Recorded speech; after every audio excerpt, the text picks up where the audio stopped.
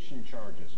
Authorities say 29-year-old Jonathan James Hartman died. He is a co-youth minister with the Salvation Army Church.